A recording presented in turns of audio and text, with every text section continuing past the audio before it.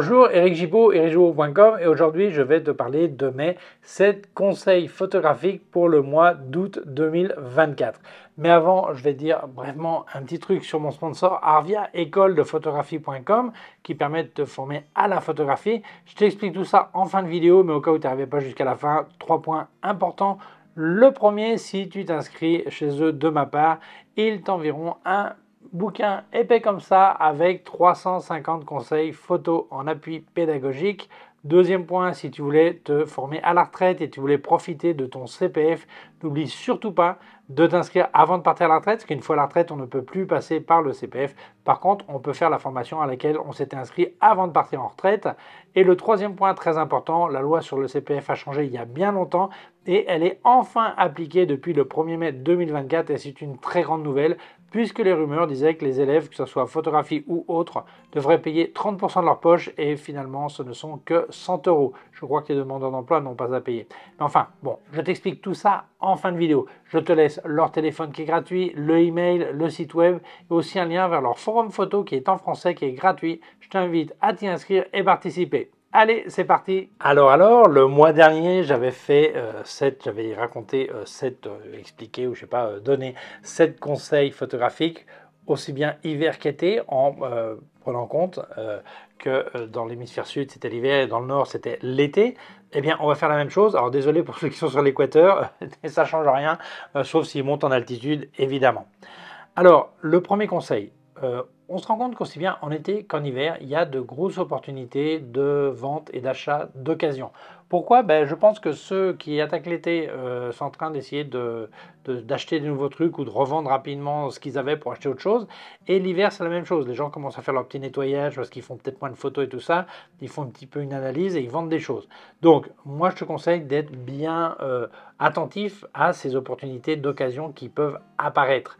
Alors, j'avais fait une vidéo, je te laisse le lien ici, avec quelques conseils sur comment ne pas se faire avoir aussi bien en tant que vendeur que euh, en tant qu'acheteur. Voilà. Mais il y a énormément de gens qui achètent et qui vendent d'occasion et qui n'ont jamais aucun problème. Mais il faut prendre quelques précautions, évidemment. Mais n'oublie pas que ça, ce sont vraiment deux saisons, aussi bien hiver qu'été, qui sont super intéressantes pour l'occasion. Conseil numéro 2. Alors moi je dis toujours qu'il faut faire un inventaire tous les 6 mois de son matos. Alors évidemment si tu n'as rien acheté ou rien vendu depuis 6 mois, eh bien il n'a pas changé depuis 6 mois. Mais probablement tu as quelques petits trucs nouveaux et où euh, tu as changé ta manière de faire des photos. Donc moi je te conseille de faire euh, plusieurs tas dans ta petite liste. Premier, ce que tu utilises habituellement.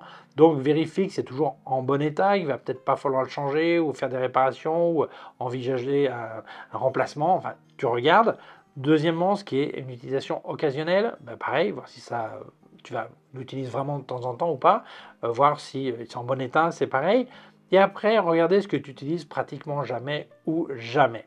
Parce que là, on se rend compte qu'on a énormément d'argent sur une étagère ou dans une armoire qui finalement bah, dort parce que ce sont des accessoires ou des objectifs ou des appareils qu'on n'utilise pas. Donc, bah, tu pourrais très bien les revendre pour utiliser l'argent pour autre chose. Pas forcément pour la photo, ça peut être pour faire un voyage, pour aller au resto, euh, t'acheter des fringues ou effectivement peut-être pour acheter d'autres matos photo. Mais je te conseille de faire cet inventaire tous les six mois parce que, bah oui, c'est là que tu vas te rendre compte bah, que tu as un paquet de trucs qui ne servent pas à grand chose euh, et qui pourraient servir à quelqu'un d'autre. Même si tu vendais à perte, eh bien, ce que tu récupérerais, ça serait toujours plus utile qu'un euh, objet, un produit qui est mort de rire sur une étagère, je pense. Alors, si jamais tu voulais me filer un coup de main et que tu allais acheter chez Digit Photo, ça serait vraiment sympa, comme à l'écran, là où ça marque code créateur, si tu marques Jibo, eh bien, ça me file un coup de main. Si tu as un code promo, il y a une case à côté qui est complètement compatible, qui dit code promo. D'ailleurs, je les partage régulièrement sur mes réseaux sociaux. Merci beaucoup car ça m'aide énormément. Continuons. Conseil numéro 3. Alors le mois d'août, c'est euh, ce qu'on dit euh, l'avant, on dit, l'antisalle, euh, l'avant, la salle d'attente, le virage, la dernière ligne droite avant les offres du Black Friday et de Noël. Alors beaucoup disent ouais, les gens ils montent les prix avant le Black Friday, ils les redescendent pendant le Black Friday. Bon, il y a quand même un certain contrôle. C'est vrai qu'il y a eu des choses assez fantaisistes à une époque, mais maintenant euh, le contrôle euh, du commerce est quand même assez euh, féroce. Donc je pense qu'il n'y a pas trop de problèmes. Il y a vraiment des super offres. Mais le problème, c'est pas les offres que tu vas avoir en Black Friday ou à Noël. Le problème, si c'est vraiment si tu n'y as pas pensé. Donc, euh, tu peux voir un super objectif ou un super appareil à un prix euh, défiant toute concurrence. Malheureusement, tu n'as pas les sous de côté pour l'acheter et profiter de cette offre. Donc, c'est important que tu profites du mois d'août pour jeter un petit coup d'œil en même temps que tu as fait l'inventaire. Penser un petit peu ce que tu aimerais avoir de nouveau, euh, quand l'acheter, mettre des alertes aussi. Il y a beaucoup de sites qui te permettent de mettre des alertes. Donc, quand le prix baisse quand il y a une offre qui sort, tu vas recevoir un avis. Donc, n'oublie pas ça, profites-en. fais euh, ta planification euh, d'achat euh, pour ces jours d'offres. Et donc, si tu regardes en dernière minute, souvent on achète du n'importe quoi au courant. Alors, si tu as bien pensé, tu vas prendre la meilleure offre au bon moment. Voilà. Conseil numéro 4. Eh bien, quand on parle chaleur de l'été, parce que là, je crois qu'en France et en Belgique, en Europe en tout cas, ça tape très dur. J'imagine qu'au Canada, au Québec, c'est pareil. Et, et dans le hémisphère sud, c'est possible que ça tape très froid. Donc, ben, quand il fait chaud, quand il fait froid, on a quand même tendance à se cacher à la maison ou à l'abri. C'est pour ça que souvent on se rend compte qu'on préfère euh, les saisons comme le printemps ou l'automne pour faire des photos, puisque c'est des températures un peu plus euh, tempérées, si on peut dire comme ça. Donc je crois que c'est aussi une grande opportunité. Euh, pendant que la maison fait la sieste, s'il fait chaud, ben, tu pourrais lire un bouquin de photos, tu pourrais regarder des vidéos, tu pourrais te faire une formation, tu pourrais il y a plein de choses qui tu pourrais faire pour te former à la photographie.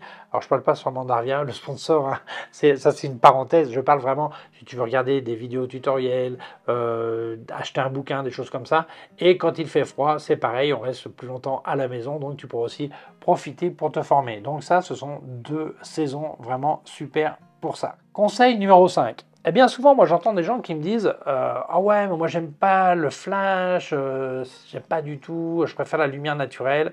D'autres qui disent complètement le contraire, disent Moi je préfère le flash parce que je contrôle exactement comme je veux éclairer sans vraiment euh, aucun problème, alors que quand je fais du, la lumière naturelle, bah, ça dépend plus d'éléments externes. Bon, je pense qu'on a tous une préférence mais un bon photographe doit connaître les deux techniques de manière à pouvoir avoir des résultats similaires. Imagine que toi, tu adores la lumière naturelle et tu es en plein hiver, il n'y a vraiment pas trop de lumière, tu es à la maison, tu veux faire un portrait avec le même look que lumière naturelle. Tu dois savoir l'obtenir avec un flash et vice-versa. Tu as l'habitude de bosser au flash, mais un jour tu ne l'as pas, eh bien tu dois être capable d'avoir quelque chose de similaire en lumière naturelle. Bah, l'exemple, hein, la personne qui regarde par une fenêtre, le soleil tape sur la fenêtre, on le voit et tout ça. Ben, voilà, tu as une photo euh, que tu aimes faire en lumière naturelle. Mais là, c'est l'hiver, il fait pas beau, que fais-tu? Eh bien, tu vas mettre un tissu blanc, tu vas mettre le flash derrière, tu vas resimuler ce soleil qu'il y avait derrière ta fenêtre pour refaire la photo. Et c'est vraiment euh, un bon photographe doit être capable d'avoir des résultats très très similaires aussi bien en flash qu'en lumière naturelle quand il veut obtenir le même look. Évidemment, s'il veut des looks différents, ben, peu importe, il choisit la technique ou l'autre suivant. Mais quand tu veux euh, conserver ton style, peu importe la saison de l'année, eh bien, il faut que tu connaisses les deux techniques. Conseil numéro 6. Alors, qui dit mois d'août dit étoile filante. Alors pour euh, l'hémisphère nord, ça a été facile, puisqu'il y a les Perséides avec le, jour point, le jour phare, c'est le 12 août, mais il y en a euh, plusieurs jours, mais le 12 août, c'est le jour très fort. Un petit conseil, euh, ce que je vais dire après, c'est le même conseil, ne vise pas l'horizon parce que l'atmosphère est jamais très propre. Il y a une très grosse couche d'atmosphère à traverser en horizontal comparé à 45 ou à 90 degrés. Donc pointe plutôt vers le ciel, vers 45 degrés direction nord. Et euh, après les techniques, il y a beaucoup de techniques pour faire la photo d'étoiles filantes. C'est pas toujours facile de la prendre euh, au vol. Donc bah, il y a une technique aussi, c'est de faire un, ce qu'on appelle un, un time lapse. Et quand tu vois que tu l'as capturé, bah, là t'éteins. voilà. après il y en a qui sont vifs, il y en a qui font de la pause longue et puis regarde après ce qu'il y a. Il y a plein de tutoriels sur ça, je ne vais pas en faire un spécial là-dessus. Surtout que moi, j'ai jamais fait des photos d'étoiles filantes, parce qu'à chaque fois, j'ai eu un contretemps ou des nuages ou des trucs comme ça. Voilà. Mais n'oublie pas, si ça t'intéresse, ce sont ces jours-là. Si tu es dans l'hémisphère sud, eh bien, le 29 et le 30 juillet, donc quand tu vois cette vidéo, c'est passé, mais euh, ça dure jusqu'au 23 août, avec moins d'intensité. Eh bien, il y a les deltas aquarides, euh, ouais, aquarides delta, pardon, euh, voilà, c'est ça, ouais. Euh, voilà. Donc, dans l'hémisphère sud, tu pourras aussi voir des étoiles filantes. Et pour les deux hémisphères, j'avais dit atmosphère avant ou hémisphère? Hémisphère, ok. Sud et nord, il y a aussi les alpha capricornes avec des jours phares le 29 et le 30 juillet aussi, mais elles durent depuis le 3 juillet jusqu'au 15 août. Donc tu verras quand même un petit peu euh, ce soir, après, je ne sais pas quand tu vas regarder la vidéo, mais si tu regardes le 1, 2, 3 août, tu arriveras quand même à choper quelque chose. Donc voilà, donc bienvenue les étoiles filantes. Moi je ne suis pas expert là-dedans, mais enfin ceux qui sont intéressés, voilà les dates. Conseil numéro 7. Eh bien, mois d'août, ou euh, que ce soit été ou hiver, c'est un bon moment pour faire du nettoyage de photos on accumule énormément de photos sur le disque dur, des photos qui ne servent absolument à rien. Alors je ne parle pas de la photo euh, de ton euh, beau-frère ou euh, ton voisin qui ne t'intéresse pas du tout, je parle de la typique rafale où tu as fait 50 photos et finalement il n'y en a qu'une qui t'intéresse. Pourquoi gardes-tu 49 photos sur ton disque dur qui occupe de la place? Un disque dur c'est un espace cher. Donc ce que je te conseille, tu ne prends pas les deux derniers mois, mais les six mois précédents si tu ne l'avais pas fait, et tu vas aller sur ton programme de développement d'héros, par exemple Lightroom, et tu vas voir celle que tu avais sélectionnée. OK? Et là, en fait, tu vas faire l'inverse. Prendre celles qui n'avaient pas été sélectionnées. Vérifier s'il y a quelques-unes que finalement, elles n'étaient pas si mal que ça et tu veux les conserver. Et toutes les autres, ben, simplement, tu les vires à la poubelle parce qu'elles occupent de la place pour rien. Et ensuite, n'oublie surtout pas de refaire une copie de sécurité de ton disque dur. Normalement, ce n'est pas une, c'est au moins deux avec le cloud et deux disques ou trois disques durs. Un d'entre eux, euh, sauf, un cloud évidemment, mais euh, le nuage. Mais si c'est un disque dur physique, essaie d'en avoir un qui soit pas chez toi, au cas où il y aurait un incendie ou un problème ou un truc comme ça. Voilà. Mais n'oublie pas de faire ce nettoyage euh, semestriel car ça, on occupe énormément de disques avec des trucs dont on n'a absolument pas besoin. Et eh bien voilà, c'était mes 7 conseils pour le mois d'août 2024. J'espère qu'ils t'ont plu, mais je vais dire d'abord merci à mon sponsor Arvia école de photographie.com qui permet de te former à la photographie à distance. Mais ce n'est pas que de la théorie, il y a aussi des exercices pratiques à faire que tu dois monter sur la plateforme et ce sont des professeurs diplômés en photographie qui vont te corriger. D'ailleurs, tu as une réunion de temps en temps, réunion virtuelle avec ton prof qui dit ce qui va, ce qui ne va pas, comment t'améliorer et tout ça. Donc, euh, le mieux, c'est que tu parles avec Arvia, parce qu'ils ont six types de formations, et eux, ils pourront t'orienter vers celle qui correspond le plus à tes besoins. Donc je te conseille de les appeler, l'appel est gratuit. N'oublie pas que si tu t'inscris une formation chez eux de ma part, ils t'enverront un bouquin épais comme ça avec 350 euh, conseils photos en appui pédagogique, mais ils te conseilleront sur la formation qui est le mieux pour toi. Alors ils ont 6 euh, types de formation et elles durent entre 8 et 12 mois et tu vas passer 10-12 heures par semaine. Alors certains passent 8, certains passent 15, ça dépend de tes connaissances au départ, ça dépend de, l'avancement de la formation et tout ça. Moi ce que je peux te dire par contre, te parlant du prix aussi, je peux te parler aussi du financement. Alors, euh, il y a plusieurs manières. La première, c'est ce qu'on appelle l'autofinancement. Bon, ça veut dire, bah, tu as l'argent, tu payes, hein, c'est aussi simple que ça. Après, il y a des gens qui sont demandeurs d'emploi. Dans ce cas-là, tu dois parler avec ton conseiller chez France Travail, Expo l'emploi, qui te dira quoi faire. Tu lui expliques que tu veux faire une reconversion et il t'expliquera comment faire un cofinancement ou un financement euh, avec euh, France Travail. Voilà, donc de la formation que tu lui demanderas, donc tu présenteras à et il t'expliquera. Voilà. Alors, euh, il y a aussi la possibilité de se financer avec ce qu'on appelle le CPF, compte personnel de formation. Chaque année travaillée, il y a un petit pécule qui s'accumule et un jour tu peux l'utiliser pour te former, que ce soit la photo ou autre. Donc, il y a certaines règles. La première, il faut être actif, c'est-à-dire tu peux être au chômage, mais tu ne peux pas être à la retraite. Donc, si tu as CPF accumulé et tu vas partir bientôt à la retraite, n'oublie surtout pas de t'inscrire avant de partir à la retraite. Tu pourras quand même faire ta formation une fois à la retraite si tu t'es inscrit avant. Et autre point important, la loi, alors évidemment si tu es déjà à la retraite, tu peux passer par l'autofinancement, évidemment. Hein.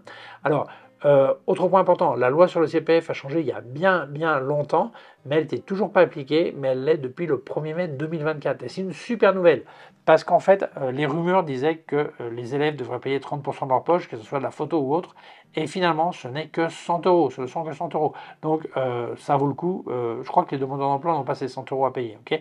Mais c'est-à-dire que tu peux profiter de ton pécule plus 100 euros et te former. Mais voilà, c'est ce que j'ai dit. Le mieux, c'est que tu les appelles, ils t'orienteront le mieux possible. Donc je te laisse leur téléphone qui est gratuit, le email, le site web et aussi un lien vers leur forum photo qui est gratuit, qui est en français. Je t'invite à t'y inscrire et participer. Et eh bien voilà, merci Arvia d'avoir sponsorisé ma vidéo, merci à toi de l'avoir vue. Si tu penses qu'elle peut intéresser d'autres personnes, je t'invite à la partager sur les réseaux sociaux. Si tu ne l'as pas encore fait, je t'invite à t'abonner à ma, euh, je t'invite à t'abonner à ma chaîne YouTube. Il y a un petit bouton par là, une clochette. Si tu appuies sur la clochette, tu recevras un avis, un avis quand je monte une nouvelle vidéo. Mon site web erigio.com slash fr pour la version en français. Mes cours de photographie en vidéo erigio.com slash fr slash cours en ligne. Si tu as une quelconque question, tu peux laisser un commentaire dessous. Je laisse aussi le lien de mon matos chez Digit Photo. Alors ça serait vraiment sympa si tu achètes comme à l'écran, là où ça marque code créateur. Si tu marques Jibo, eh bien ça me file une aide. Si tu as un code euh, promo, il y a une case à côté qui est complètement compatible. D'ailleurs, euh, je partage régulièrement les codes promo sur mes réseaux sociaux. Merci beaucoup car ça m'aide énormément. Je te laisse aussi des liens de tout ce que j'ai testé de KF Concept, Sandmark et Flash Westcott, d'autres liens affiliés et aussi un lien de mon compte PayPal au cas où tu veux faire un don. Merci beaucoup, prends soin de toi et à très bientôt. Ciao